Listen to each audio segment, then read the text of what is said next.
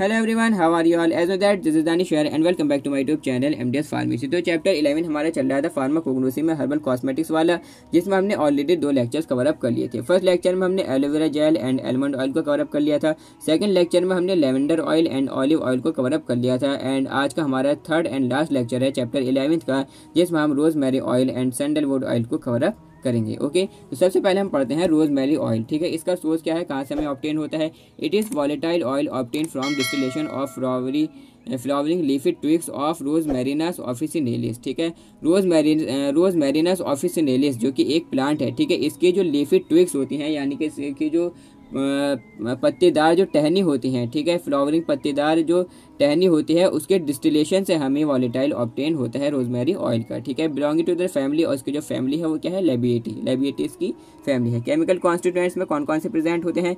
Rosemary oil contains monocyclic and bicyclic terpenoids.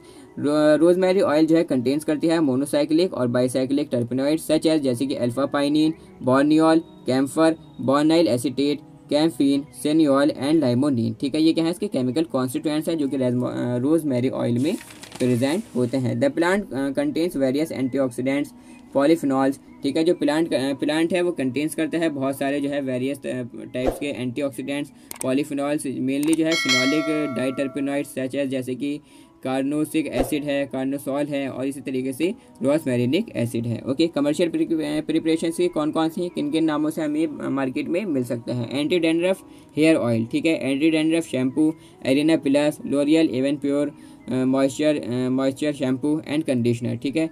तो ये क्या है? ये इसकी मार्केटेड प्रिपरेशंस हैं, ठीक है? कमर्शियल प्रिपरेशंस हैं। नेक्स्ट हमारे इसमें थेरेपेटिक यूज़ इसके बॉडी पर जाकर ये क्या इफ़ेक्ट देगा?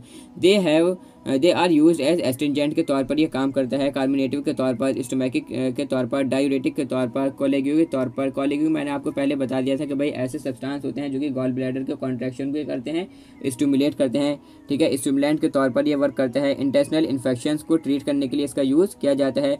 क्वालिटीज़ में इसका यूज़ किया जाता है। क्वालिटीज़ आप समझते हैं इन्फ्लेमेशन ऑफ़ कॉलन कॉलन में जो है सूजन का आना, उसके ट्रीटमेंट में इसका यूज़ किया जाता है। डायरिया के ट्रीटमेंट में लिवर डिज़ीज़ में जो लिवर से जुड़ी जो बीमारियाँ हैं, ठीक है, उसके ट्रीटमेंट में इसका यूज़ किया जाता है और टॉनिक के तौर पर इसका यूज़ किया जाता है।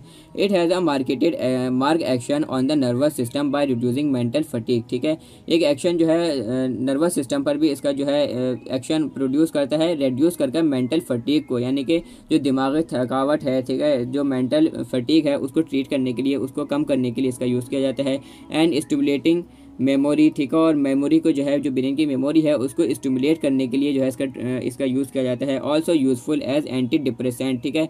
अगर कोई डिप्रेशन में है, ठीक है, काफ़ी ज़्यादा वो जो है डिप्रेस्ड है तो उसके ट्रीटमेंट में ये काफ़ी ज़्यादा यूज़फुल है। एंटी डिप्रेसेंट्स के तौर पर इसका यूज़ किया जाता है। It is also useful in asthma bronchitis and cough ठीक है? ब्रोंकाइटिस में अस्थमा में और कफ में खांसी में इसका यूज़ किया जाता है। नेक्स्ट हमारे इसमें आते हैं cosmetic uses rosemary oil is commonly used in cosmetic formulations and perfumes ठीक है? रोजमेरी ऑयल जो है कॉमनली जो है अक्सर जो है यूज़ होता है कॉस्मेटिक फॉर्मुलेशंस में और परफ्यूम्स में। They are useful in hyperpigmentation hyperpigmentation में काफ़ी ज़्यादा यूजफुल है। Due to its antimicrobial property it can be used for acne and other skin infection in skin care cosmetics ठीक है? एंटी माइक्रोबियल प्रॉपर्टी की वजह से ये यूज़ किया जाता है एक्ने को ट्रीट करने के लिए, यानी कि मुहासों को ट्रीट करने के लिए और जो अदर स्किन इन्फेक्शन हैं, ठीक है स्किन केयर कॉस्मेटिक्स में इसका यूज़ किया जाता है। It is useful in various scalp and hair disorder such as dandruff and itchy skin ठीक है? काफ़ी ज़्यादा यूज़फुल है। वेरियस स्काल्प यानी कि जो हमारा जो सिर होता है, उसकी जो स्किन होती है, उसको बोलते हैं हम स्काल्प ठीक है? तो उससे, और जो हेयर डिसऑर्डर्स हैं, बालों से जुड़े जो रोग हैं, ठीक है? जैसे कि डेंड्रफ है या इची स्कैल्प है, ठीक है? जो सर है, उसमें खुजली होना, उसके ट्रीटमेंट में इसका यूज़ किया जाता है। Rosmarinic acid improve blood circulation for hair roots and promotes hair growth thus prevent hair loss ठीक है? जो रोज मैरिनिक एसिड है, वो इम्प्रूव करती है ब्लड सर्कुलेशन को। हेयर रूट्स की जो बालों की जो जड़ें हैं, वहाँ पर ब्लड सर्कुलेशन को क्या करती है? इम्प्रूव करती है, बेहतर करती है एंड प्रोमोट हेयर ग्रोथ और हेयर की ग्रोथ को, ठीक है? बालों के, बालों की लंबाई के बढ़ने के लिए, ठीक है? उसकी ग्रोथ को क्या करती है? प्रोमोट करती है और thus prevent the hair loss ठीक है? तो ये जो है, बचाती है किससे? हेयर लॉस से, बाल झड़ने से बचाती है ओके नेक्स्ट जो हमारे इसमें ड्रग है, जो हमारे इसमें टॉपिक है, वो क्या है? सैंडलवुड ऑयल ओके सोर्स इसका क्या है? It is viscous volatile oil कैसा है? ये गाढ़ा वॉलेटाइल ऑयल होता है obtained by the steam distillation of heartwood of plant Santalum album Linn ठीक है? जो प्लांट सेंटेलम एल्बम लिन है, ठीक है? जो इसकी हार्टवुड होती है। हार्टवुड आप समझती हैं, यानी कि सेंट्रल वुड जो होती है ट्रीज़ की, ठीक है? जो ट्रीज़ का, पेड़ों का, जो बीच का भाग होता है वो उसको हम हार्टवुड बोलते हैं, ठीक है? तो उसकी स्टीम डिस्टिलेशन से हमें ऑप्टेन होती है। Belonging to the family family इसकी क्या है? सेंट एलेसिस की फैमिली है। केमिकल कॉन्स्टिट्यूएंट्स में कौन कौन से प्रेजेंट होते हैं?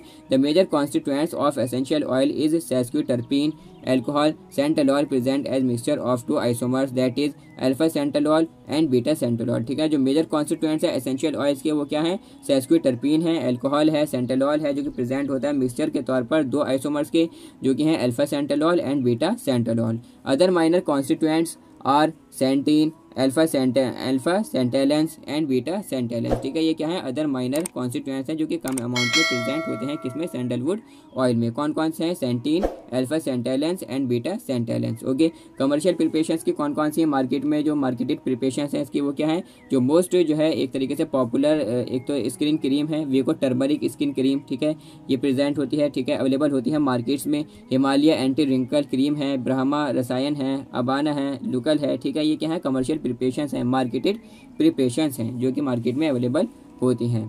थेरेपेटिक यूजेस ठीक है? क्या क्या इसके यूजेस हैं? बॉडी पर जाकर किस तरीके के थेरेपेटिक इफ़ेक्ट ये प्रोड्यूस करेगा? Sandalwood oil is used in Ayurvedic medicine for treatment of both somatic and mental disorders ठीक है? जो सैंडलवुड ऑयल है, वो यूज़ किया जाता है आयुर्वेदिक मेडिसिन में। ठीक है ट्रीटमेंट में, इलाज में बोथ सोमेटिक और मेंटल डिसऑर्डर्स के ठीक है, जो दिमागी संतुलन से जुड़े जो रोग हैं, ठीक है, जो मेंटल और सोमेटिक डिसऑर्डर्स हैं, उसके ट्रीटमेंट में जो है इनका यूज़ किया जाता है। It has potent antimicrobial and antiviral action ठीक है।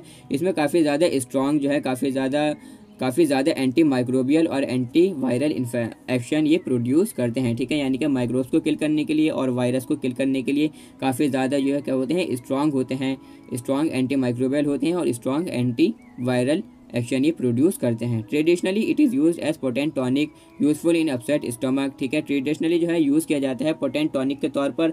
यूज़फुल होता है अपसेट स्टोमक में, यानी कि पेट की खराबी में, ठीक है? पेट ख़राब होना, ठीक है? जिसके सिम्टम्स हैं, यानी कि जो है, सीने में जलन होना या जो है, जी मचलाना, ठीक है? अपसेट स्टोमक तो उसमें जो है, ये जो है, काफ़ी ज़्यादा यूज़फुल टॉनिक है पोटेंट टॉनिक है. It help to relieve gas heart burns और diarrhoea and help to calm the entire digestive system ठीक है, ये क्या करता है? मदद करता है रिलीव करने में राहत पाने के लिए गैस से जो पेट में गैस बनती है हार्ट बर्न से, सीने में जलन और डायरिया डायरिया के ट्रीटमेंट में and helps to calm the entire digestive system और पूरे डाइजेस्टिव सिस्टम को जो है शांत करने के लिए काफ़ी ज़्यादा यूज़फुल है.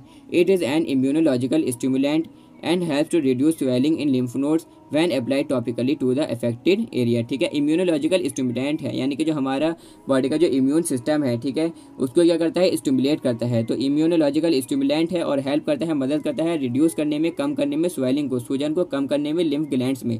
लिम्फ ग्लैंड्स में जो सूजन है, उसको कम करने के लिए काफ़ी ज़्यादा यूज़फुल है, मददगार है when apply topically to the affected area जब हम इसको टॉपिकली एक्सटर्नली अप्लाई करते हैं अफेक्टेड एरिया पर।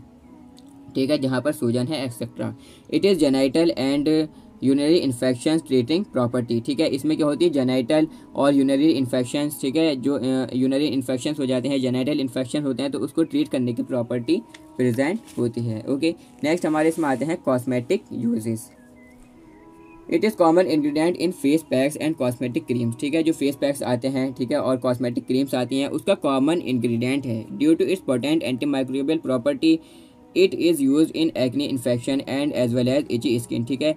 एंटी पोटेंट यानी कि काफ़ी ज़्यादा स्ट्रॉन्ग एंटी माइक्रोबियल प्रॉपर्टी की वजह से ये यूज़ किया जाता है एक्नी इन्फेक्शन में, यानी कि मुहासों के इन्फेक्शन के ट्रीटमेंट में। इसी तरीके से जो इची स्किन है, ठीक है, जहाँ पर स्किन पर, जहाँ पर खुजली हो रही है, ठीक है, उसके ट्रीटमेंट में इसका यूज़ किया जाता है, ठीक है। किसकी वजह से? क्योंकि काफ़ी ज़्यादा पोटेंट एंटी माइक्रोबियल प्रॉपर्टी इसमें होती है। It is good hair conditioner with flavouring agent ठीक है। फ्लेवरिंग एजेंट के साथ में काफ़ी अच्छा हेयर गुड कंडीशनर ये माना जाता है। It is common fixative agent for most of the perfumes and deodorants ठीक है? जो परफ्यूम्स होते हैं डिओड्रेंट्स होते हैं, उसकी जो है उसका फिक्सेटिव फिक्सेटिव एजेंट है, यानी कि उसकी महक को, उसकी उसकी खुशबू को फिक्स रखने के लिए, ठीक है? बरकरार रखने के लिए काफ़ी ज़्यादा यूज़फुल होता है।